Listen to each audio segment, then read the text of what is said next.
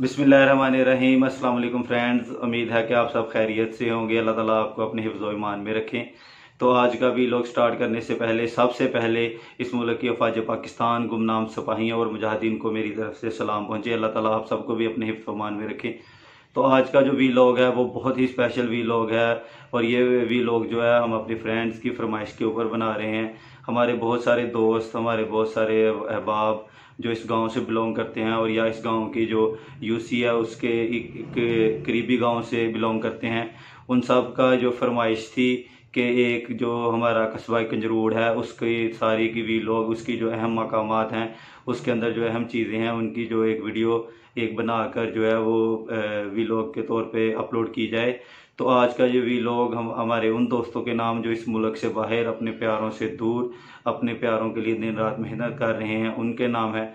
तो वी लोग जो है स्टार्ट करने से पहले इस गाँव की थोड़ी सी जो गाँव है, कस्बा कंजरूड हमारा, इसकी थोड़ी सी आपको इंट्रोडक्शन जो है वो करवाऊँगा। इसका नाम कंजरूड जो है, उसके बारे में बहुत सारे लोगों की डिफरेंट लोगों की डिफरेंट राय है। कुछ लोगों का ये ख्याल है कि यहाँ भी एक बुज़ुर्ग हस्ती है कांजू पीर के नाम से। तो कुछ लोगों का ख्याल है कि कस्बा कंजरूड़ का जो नाम कंजरूड़ है, ये उनके नाम से मंसूब किया गया है। लेकिन कंजरूड़ जो है, बेसिकली बेसिकली कंजरूड़ जो है, ये फारसी जबान के दो अल्फाज का मजमू है। कंज का मतलब होता है छाँव और रूढ़ का मतलब होता है गनी। यानी कंजरूड़ का मतलब हुआ गनी छाँव। तो हमने अपने बड़ों से, बुज़ुर्गों से ये सुना है कि किसी वक्त में कंजरूड़ में बहुत सारे दरख्त होते थे, बागात होते थे कंजरूड़ के इर्द गिर्द जो है कंजरूड़ के रेडियस के इर्द गिर्द आबादी के बाहर जो है बागात होते थे, आमों के, अमरूद के और डिफरेंट जो प्लांट्स होते हैं, उनके बागात थे, जिसकी वजह से इसका नाम जो है वो कंजरूड़ पड़ा। तो दोस्त चलें, निकलते हैं और जो है, रस्ते में कोई शुगल मेला भी करेंगे, लोगों से गपशप भी करेंगे और मुख्तलिफ़ मकाम जो हैं, इस गाँव के अहम अहम तरीकी गाँव है, ये पुराने मकानात, इसमें बहुत सारे हैं, बहुत सारे पुराने घर भी हैं।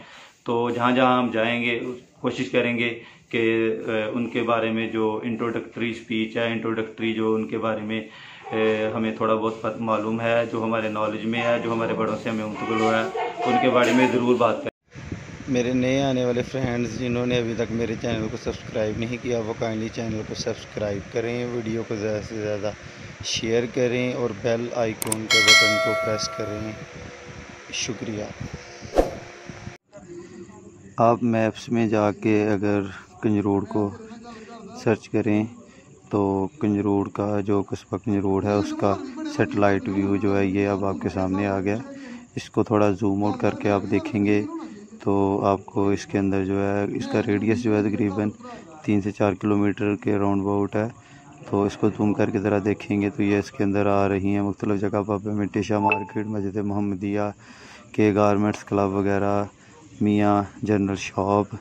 तो नीचे लेफ़्ट बॉटम में आपको बड़े महल की तस्वीर नज़र आ रही है। उसके आगे जो है मसहरी लगी हुई है। ये आपने व्यूवर जो हैं, किसी की शादी की मसहरी नहीं समझनी। ये यहाँ पे बुज़ुर्ग हस्ती हैं पापा मिठे शाह, उनके दरबार के अंदरूनी अंदर वाले हिस्से की जो है वो तस्वीर लगी हुई है। लक्ष्मी दवान चंद का महल, इसे बड़ा महल कहते हैं। तो ये हम इसकी बैक साइड पे हैं, बैक साइड को कवर कर रहे हैं। राइट साइड से जो है, दूसरी तरफ़ से, वेस्ट वाली साइड से इसकी एंट्री है, क्योंकि इस महल के अंदर जो है, बहुत सारी फैमिली रहती हैं। तकरीबन बीस के करीब जो हैं, वो घर हैं। तो लिहाजा जो है इसके अंदर से जो है फोटेज बनाना मुमकिन नहीं है। तो हम जो है बैक साइड से इसे कवर कर रहे हैं।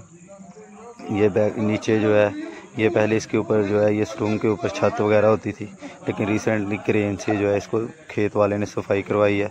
तो ये जो है अब आपको पहले नज़र आ रही है। जी, इस वक्त हम पहुँच गए हैं। ये पीछे आपको महल नज़र आ रहा है। इसको यहाँ पे लोकली जो है बड़ा महल कहते हैं। तो बड़ा महल जो है इसके जो यहाँ का मालिक था, जो इस महल में रहता था जो इसका इंचार्ज, आप लोग समझ लें, उसका नाम लक्ष्मी जवान चाँद था और कंजरूर की ये इर्द गिर्द की जो सारी ज़मीनें हैं, उसी के नाम भी थी।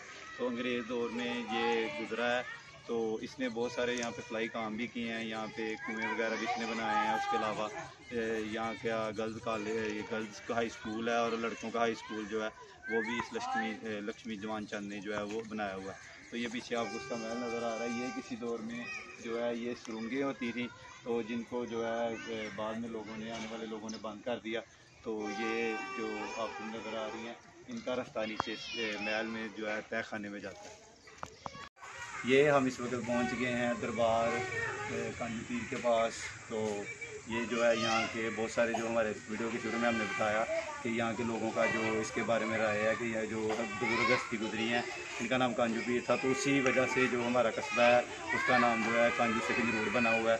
तो आइए हम आपको जो है कांजू पीर के अंदर से शायद करवाते हैं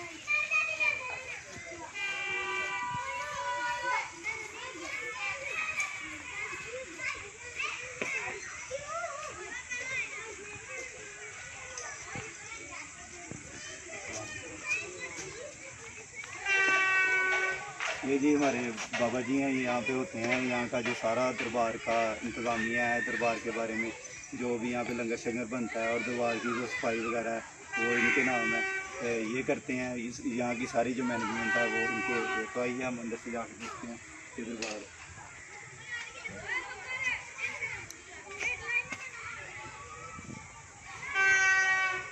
जी, ये वो बुज़ुर्ग हस्ती हैं जिनके नाम पे हमारे कस्बाए कंजरूर का जो नाम है वो रखा गया है। इन्हीं हस्ती जो है इनके बहुत सारे अकीदतमंद हैं बहुत सारे जो है लोग इनको मानने वाले हैं। और इनका जो मेला है वो भी इन्हीं दिनों में जी कितना इनका मेला होता है। ग्यारह को? ग्यारह की ग्यारह हाँ यार बाबा जी ने बताया है कि अस्सू की जो ग्यारह तारीख है उसमें इनका जो है वो बाबा मिठे के मेले हाँ, बाबा मिठाई दो बुज़ुर्ग हैं यहाँ पे। इस गाँव में दो बुज़ुर्ग हस्ती हैं एक बाबा मिठे शाह और एक ये हैं। तो बाबे मिठी शाह के मेले के बाद जो है एक महीने। बाद देसी महीने की ग्यारह जो होती है सूगी उसमें इनका जो है वो यहाँ पे जो है उस वगैरह जो है वो मनाया जाता है।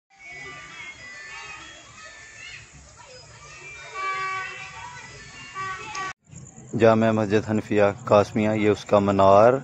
ये हमारे ज़िले की दो पहले दो बंद की सबसे बड़ी मस्जिद है आलमोस्ट तो इसमें नमाज़ असर अदा की है अभी। तो इसके बाद हम अपनी नेक्स्ट लोकेशन की तरफ़ जाएँगे, ताकि सूरज ग्रूप होने से पहले पहले हम ज़्यादा से ज़्यादा जो है अपनी वीडियो को कवर कर सकें, ताकि कंजरूड की सारी लोकेशन कंप्लीट हो जाए। ये हमारे कंजरूड का मेन बाज़ार है आलमोस्ट तो इसका जो टोटल लेंथ है वो डेढ़ से दो किलोमीटर होगी। हमने चूँकि मस्जिद हनफिया कासमिया से शुरू किया है तो वो थोड़ा जो है हम, जो उसको कैप्चर कर सकेंगे। तो ये हम गुज़र रहे हैं। लेफ़्ट और राइट साइड पे आपको शॉप नज़र आ रही हैं, ये। इसके बाद ये हमारे गाँव का मेन चौक है, इसे मंडी वाला बोर्ड कहते हैं, ये जो दरख्त नज़र आ रहा है आपको, यहाँ से हम आगे मूव करेंगे। तो हमारी क्लब फुटबॉल के क्लब के जो सदर हैं प्रेसिडेंट हैं, जट साहब, उनकी दुकान पे जाके हम रुकेंगे। तो ऑलमोस्ट हमने हाफ़ जो है उसको कवर किया है। ये इससे आगे भी जो है काफ़ी लंबा है।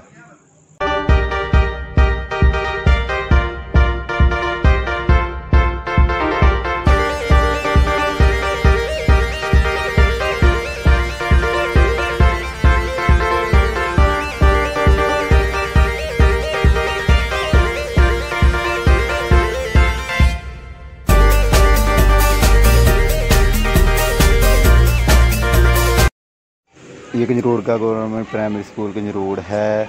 यहाँ पे हमारा बचपन गुजरा है। मेरे बचपन के दिन बड़े अच्छे थे दिन। फ्रेंड्स फ्रेंड्स इस वक्त पहुँच गए हैं हम उस जगह पे जो कि मेरी और मेरे बहुत सारे दोस्तों की बुनियाद है। तो इस वक्त हम गवर्नमेंट प्राइमरी स्कूल कंजरोड में पहुँच गए हैं। ये वो जगह है, ये वो सारा एरिया है जहाँ पे हम बड़े हुए हैं, खेल के बड़े हुए हैं, पढ़ के बड़े हुए हैं। तो हमारी जो बेस है, हमारी जो बुनियाद है मेरी और मेरे बहुत सारे दोस्तों की जो बुनियाद है बड़े बड़े उहदों पर बैठे हुए हैं बहुत सारे लोग जो इसी स्कूल से, इसी जगह से, इसी ग्राउंड में खेल के गए हैं। तो आइए हम आपको इसका जो है एक सारा व्यू जो है वो दिखाएँ।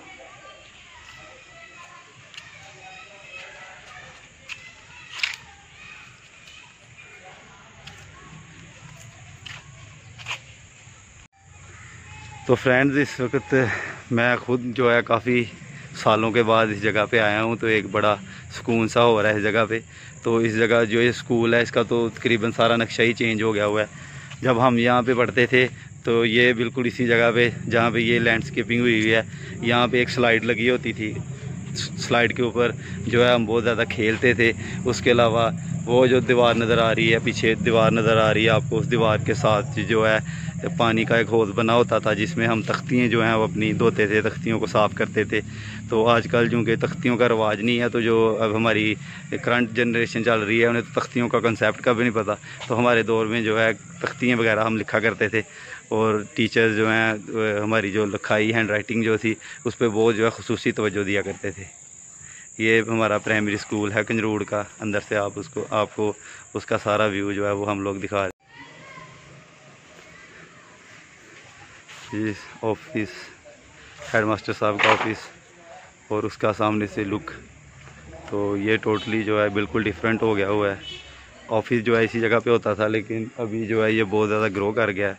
इसकी डेवलपमेंट बहुत ज़्यादा हो गई है। तो ये न्यू बिल्डिंग जो है अरेंज की हुई है। इस गवर्नमेंट ने जो है, यहाँ पे खसूसी जो है, सरकारी स्कूलों में सिलेबस के हवाले से इंग्लिश मीडियम कर दिया है। हम तो उर्दू मीडियम पढ़ते थे। और उसके साथ साथ इस गवर्नमेंट ने जो है, इसकी लैंडस्केपिंग और इसके इंफ्रास्ट्रक्चर जो है, उसको बहुत खूबसूरत बना दिया है। तो ये एक बदला हुआ स्कूल नज़र आ रहा है। फ्रेंड वीडियो पसंद आई हो तो काइंडली चैनल को सब्सक्राइब करें बेल आइकॉन के बटन को प्रेस करें वीडियो को ज़्यादा से ज़्यादा। शेयर करें और लाइक करें। मिलेंगे नेक्स्ट व्लॉग में। शुक्रिया।